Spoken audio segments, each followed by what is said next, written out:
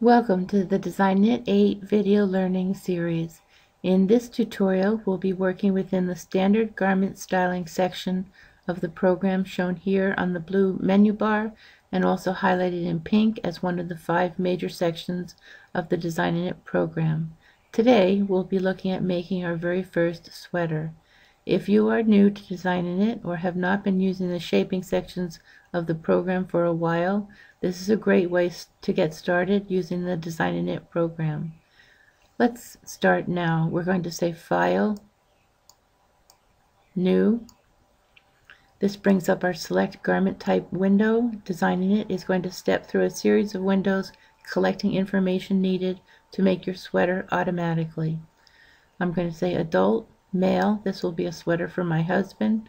I'm going to pick Sweater straight sleeves. This is a drop shoulder sleeve style, rounded across the front neckline and rounded across the back neckline slightly so that it sits nice on my husband's collar.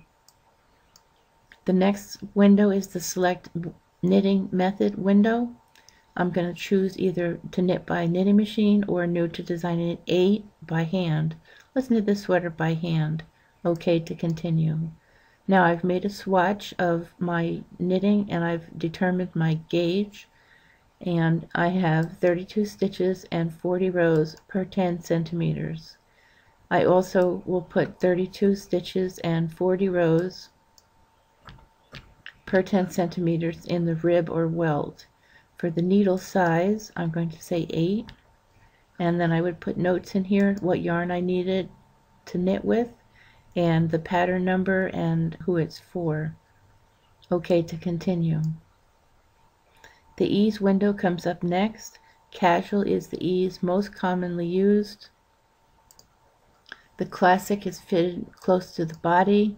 Oversized kind of goes without saying. This is something I would use for a heavy sweater that you might plan to wear as a jacket over top of regular clothes. Zero ease is with the ease built into the measurements, and we'll talk about this in a separate tutorial.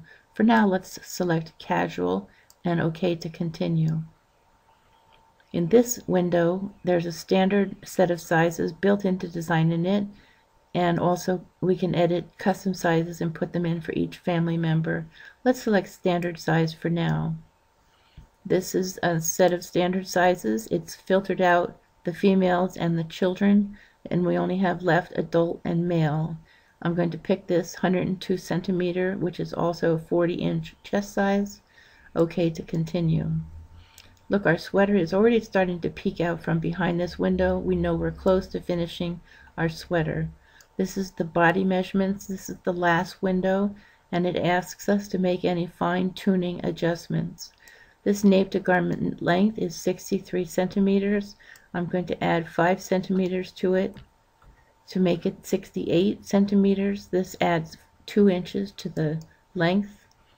The arm length is 66 centimeters. I'm going to make this 68.5.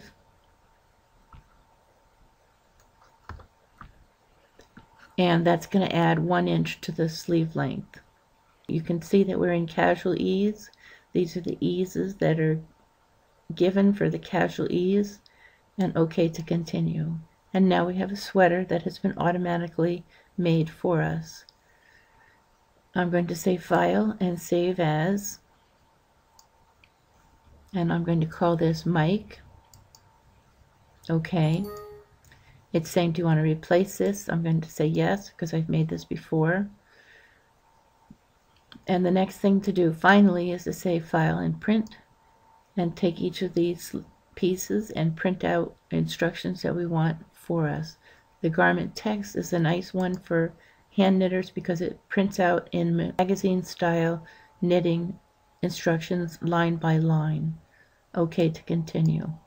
So we've made our first sweater and we're ready to start knitting and thank you for coming to the program.